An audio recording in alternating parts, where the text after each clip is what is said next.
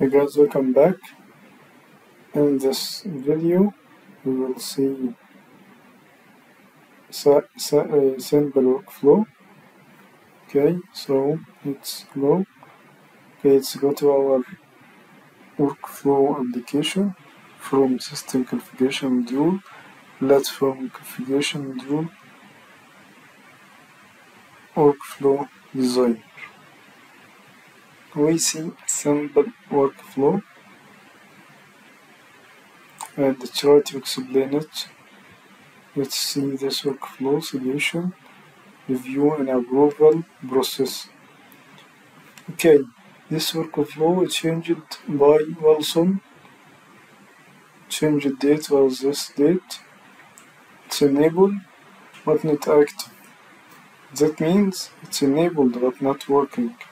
Okay, okay, this is uh, the workflow name, workflow description, and this is the object that workflow is working on. This is the object, very important. If we have revision, this is revision 1. We can make revision 2, revision 3, as you want, as you like. Okay? This is our workflow. This is the start button. Start and stop is mandatory. Okay, and this is task node start and stop is mandatory nodes. This is the task node.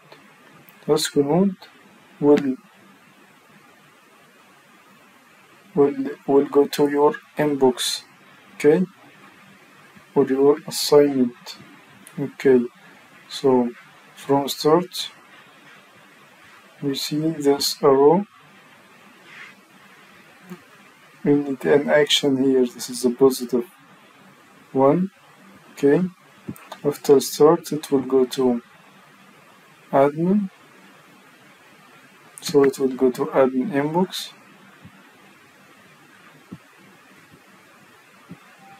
okay this is a rule id related to sole admin solution administrator okay this is the rule ID related to Solar admin. If we go to this rule, I see value is Solar admin. This is person group. Let's go to this person group. Will go to all persons. Okay, lead to this group. We can add more than one person here. Okay, so this person will, will get the inbox of this workflow, which return with value. Broadcast important box here. It will go to all persons in this person group. So return to our workflow.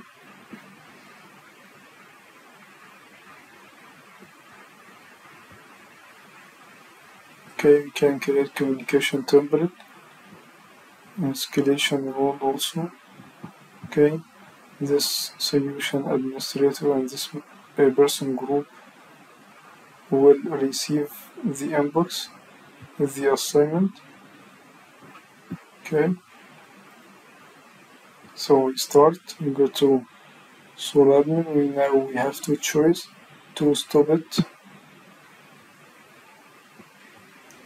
Let's see this positive.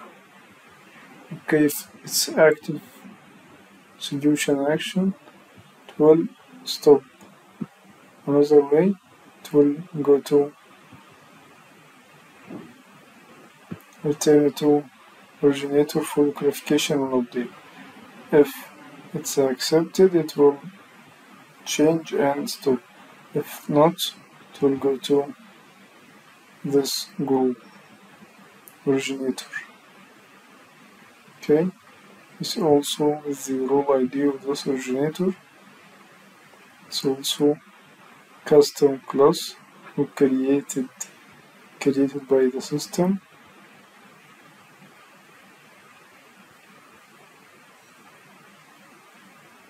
Okay now, now we have two options.